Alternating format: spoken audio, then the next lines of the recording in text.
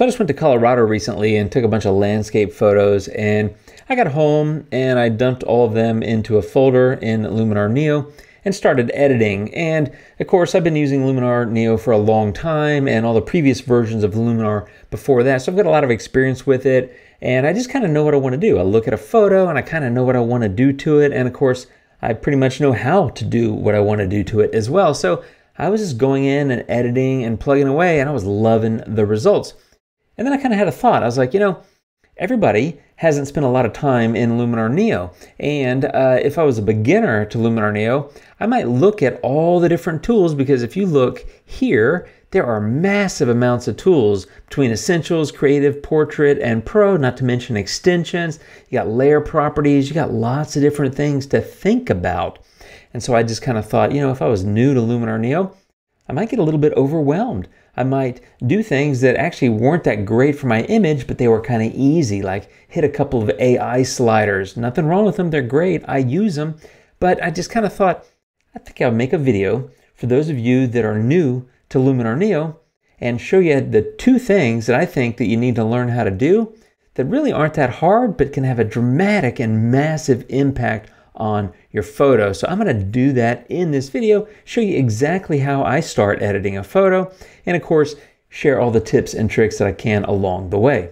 Now, before I go any further, the nice folks over at Skylum Software that make Luminar Neo have offered a 30% discount to any new user. So that would be using discount code JIM30 at checkout. I'll put a link down below. That's good for four days. That's going to run until the end of the day US Central Time Thursday this week, which is October 19. So use that code JIM30, save 30%, get an incredibly powerful photo editor, and then come back here and watch more videos, and I'll help you get started in making beautiful photos. Now, if you happen to catch this after that deal has expired, don't worry, you can still take advantage of my regular coupon code, which I'll put down below and which saves you up to 15%. Let me show you what I'm talking about. There's really two things that you really, I think, have to master. The first one is develop and develop raw. Now, it's a raw file, therefore, it's called develop raw. You cannot do any masking when it's a develop when it's in develop raw. In other words, you can't mask on a raw file, but you can use develop multiple times and you can mask it on those subsequent times. And so what I'm going to do is come in with develop raw and make some minor adjustments. Now, a thing that I recommend is keep your histogram uh, active. If you don't see your histogram, click on view and show histogram. I think you want to have that. It shows you the distribution of light. And while you're at it, I like to hit the J key when I'm in develop raw, and then I'll turn it on and off multiple times during my edit. And that shows me areas that are either blown out, which is uh, covered in red here, or completely dark, which is covered in blue, which I don't see. So that tells me already I've got a little bit of a problem with some uh, highlights, but that's an easy fix here in Develop Raw. Now, one of the things I like to do is I'm actually going to bump this exposure a little bit to the right simply because it needs to be a little bit brighter. Those highlights do need to come down. I'm going to take them down 100. And I ended up experimenting here, going to contrast uh, of about high 27, 28, something about like that. But I lifted the shadows as well. That contrast will, of course, uh, darken the dark parts and hence I'm lifting the shadows. And you can see I'm kind of balancing out the exposure a little bit here. I'm going to leave the blacks alone and pull the whites down about a negative 17 or 18. And temperature intent, I'm going to just click there to type, and 5256 is the number I ended up with, which is a slight bump in warmth. And then I'm going to take the tint to about a 23. Uh, and while I'm at it, I'm going to give vibrance a bump of about a 5. Now, if you take a look at the photo before and after, let me show you that. Before and after, let me turn off that J key.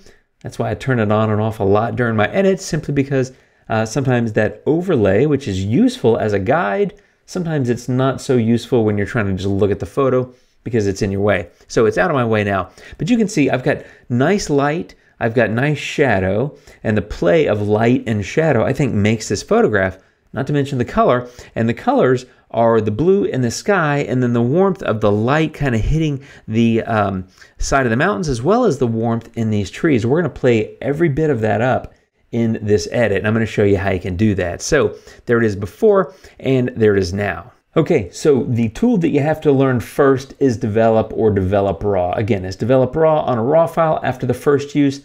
Uh, after you finish using it, close it and open it again, and then it's just called develop. And that's what we're going to do here, my friends, because we're going to use the two things that I'm going to talk about in this video, which is develop and masking. Learn those two. Uh, learn how to operate the different kinds of masks as well as all the different sections here within develop. And trust me your uh, your edits will uh, leap to new heights. I am not exaggerating. Now like i said i want to accentuate this light here. So this is where the masking comes in comes in. I'm going to get masking. I'm going to get a brush and i'm going to reduce the strength to like 55 or 56 and i'm just going to paint over some of this area. And i'm doing this kind of quick because you know, I'm uh, recording a video and I don't want to drag it out for you for too long, but I've basically painted over that area a little bit. And what I want to do is accentuate that light. Well, I can do that in a couple of ways. The first way is lifting the exposure and making it a little bit brighter. So in other words, you can see it even a little bit better than you could before. And I think, you know, maybe about like that, like a 36. Uh, now I'm going to go down to this temperature and tint and saturation and vibrance area. Temperature, I'm actually going to lift that about three or four. So in other words, I've painted with my uh, brush just into that little area and I've made it a little bit brighter. I'm now making it a little bit warmer and I'm going to give it a little bit of a tint. So like a 15 or 16 and I'm going to give it a tiny bit of vibrance. All I'm trying to do is make that stand out a little bit more. If you're out shooting and the light is catching the side of something, your eye is drawn to it already. So I didn't really have to worry about that. But if you look at the before and the after, it's a little bit more popping, uh, popish. I don't know what the word is, but um, I have done that, and that's develop and a brush mask. Now that I've closed it, I'm going to open develop again, and this time I'm going to get the mask and I'm going to go into brush and again, I'm dropping the strength. 60 seems uh, pretty good. And what I'm going to do now is kind of focus in on some of these trees that are uh, nice and beautiful with that color. So I'm just going to hit a little bit of these areas. And yes, there is a um, utility pole or uh, like electric lines or utility lines kind of running through there, which I would need to take out. I'm not going to do that in this video, but if you happen to see those, you have good eyes. Uh, and also, um, I see them and I will remove them in the final edit, just probably not in this video. So all I'm doing is highlighting and I've got a lower strength brush and I'm just coming in here and just kind of painting some of these areas that I want to add a little bit of emphasis to and that's all I'm doing. So something about like that and let me get this little guy here, you know, something like that. And now I'm going to go back to adjustments. And what I want to do is lift that exposure.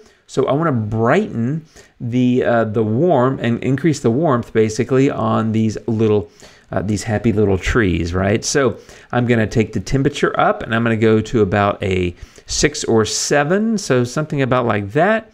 And I'm going to go tint up, uh, maybe about a five.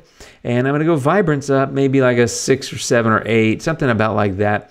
So if you take a look at the before and the after, those beautiful fall trees that are different color than the green ones are really just standing out and I think they look fantastic. So before and after.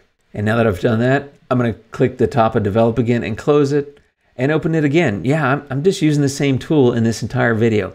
I hope it doesn't bore you, but I want to illustrate how important it is to really get your arms around using this tool in combination with different masks in order to make sure that you get a fantastic photo at the end.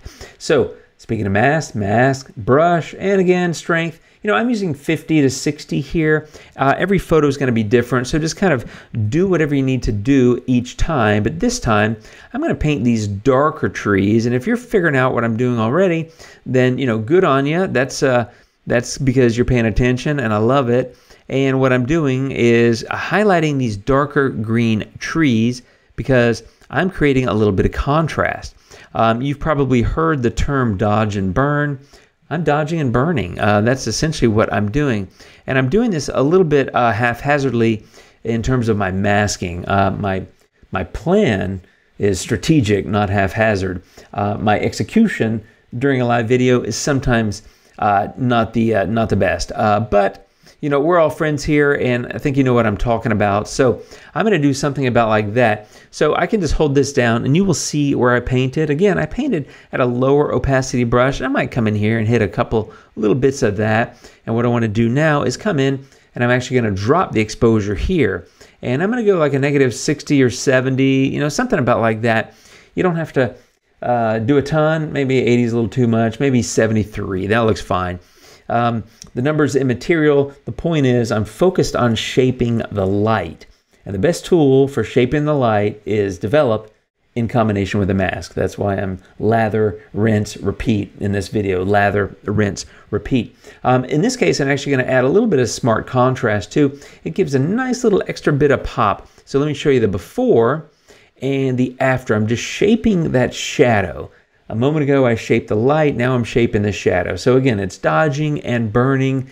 Dodging is lightning, burning is darkening, but that's what I'm doing before and after.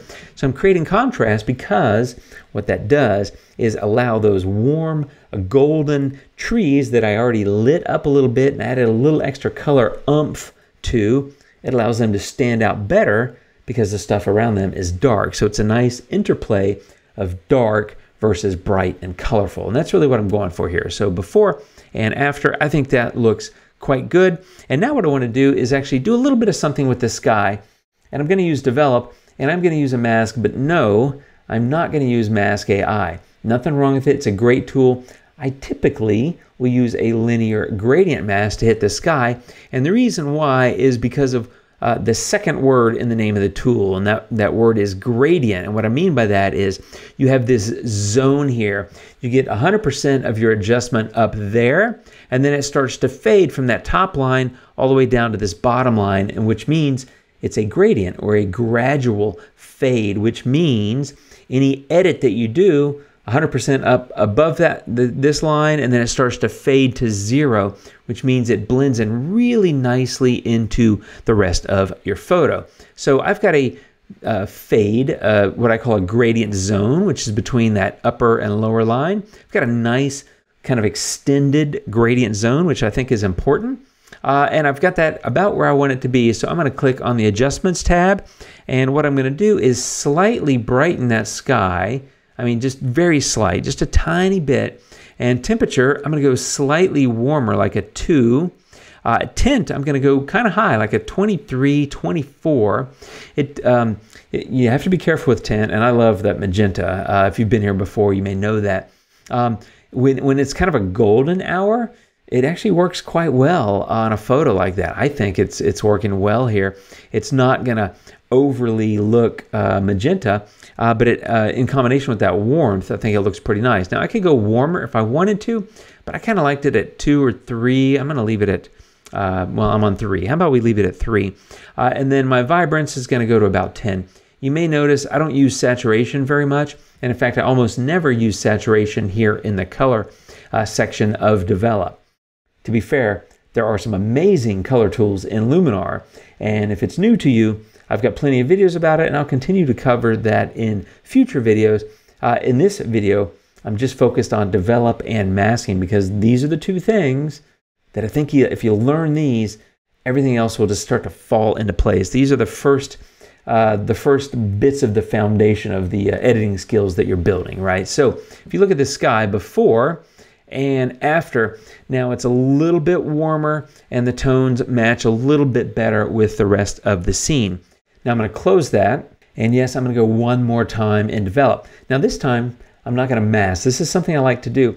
I will start with develop raw, no masking, uh, and then I'll use develop multiple times with masks. And a lot of times I'll come back at the end of my edit with develop one more time, but with no mask and just apply whatever I do to this uh, instance of develop across the entire photo. In this case, I'm going to slightly brighten it a little bit and give it a slight bit of contrast as well. And again, these are uh, completely uh, hitting the entire photo. Uh, in other words, they're global, what I like to call global edits versus local edits. I'm going to hit that J key again. You can see I'm getting a little bit uh, highlight blown out right there. So it's good to turn that on now and then just to kind of check on stuff. And I'm going to pull this down and, and they're totally gone at negative 18. So I think that looks great. I'm going to hit J again just to I don't need it anymore. Uh, temperature and tint, I'm going to do a little bit more tint And uh, like I said, with golden hour, I feel like you can kind of move that tint a little bit to the right and it doesn't become overly magenta like there. It doesn't, I just think it complements that kind of gold warm tone. And then a little bit of vibrance, like maybe a four. And let me show you that before and after. And that's the entire edit, my friends. So before, and after, okay? Before and after. We did develop raw to set your base canvas. We did develop again and again and again and again, multiple times to do different things. Sky, the gold light on the mountains, the gold on the trees, and then also to darken the green trees to create that contrast and that color pop uh, so that the photo really stands out and so that fall foliage really comes to life. And then we use develop again at the very end just to do a global adjustment across the entire photo. But the bottom line is you can take a photo that's, you know, it's got good bones, as they say, like in real estate or, you know, uh, construction. It's got good bones, I think. It's a nice looking photo, a little too dark, needs some work. You know, the, the, the beautiful stuff in the foreground is not popping because it's kind of in shadow. And now um, it's, it's still in shadow. It's not nearly as bright as other stuff. And there's not direct light hitting it but it's brighter and it's warmer and it really pops off the screen because that dodging and burning and all the work that we did. So that's why I think these are the two things, using develop and using just some basic masking tools, these are the two things that if I was new to Luminar, I would focus my efforts on first. And I would focus a lot of time and effort on them because they're incredibly powerful. And so if you haven't got Luminar yet and you're thinking about it, check out the link down below and use that code JIM30 to save 30% on any package that you get on their website. In other words, it can be the lifetime license with all the extensions, or it could be one of their subscriptions, but you get 30% off. It's a smoking deal on an incredible product that I think you can use to do incredible things to your photos without really having to get too detailed or too technical. It's powerful, it's easy to use, I love it. That's how I would go about editing this photo. As I said, there are plenty of other tools in Luminar Neo, and I love them, and I use a lot of them. But sometimes it's just the simple stuff is all you need to really make a photo stand out. That's how this one went, my friends. One more time, before and after. Thanks for watching. I hope it gives you some ideas. I'll be back soon with more videos about Luminar Neo. You guys take care, and until next time, adios.